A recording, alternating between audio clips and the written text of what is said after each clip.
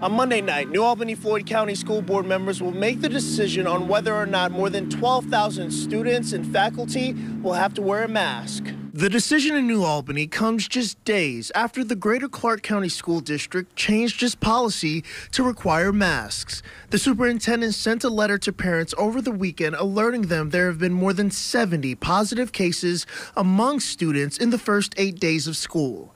In addition, he says more than 1,100 students are in a 14 day quarantine due to contact tracing. We've just seen a, a lot of cases. There's a lot of community activity um, with the Delta variant right now. We've seen our cases go up, and that's been reflected in the schools. Dr. Eric Yazel is the Clark County Health Officer. He says decisions are made on a week by week basis as COVID 19 numbers have been rapidly changing.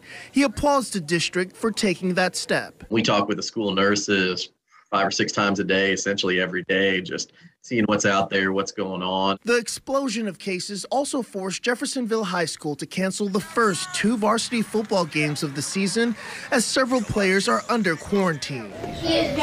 Both school districts say they're following the guidance of the state and the local health department. Dr. Yazel says as of now, there's been no discussion of returning to virtual learning full time for Greater Clark County students. I think there would have to be a show of, you know, imminent danger to our children, um, you know, with significant illness in order to go to a blanket, you know, virtual learning kind of scenario. Shaquille Lord, WLKY News.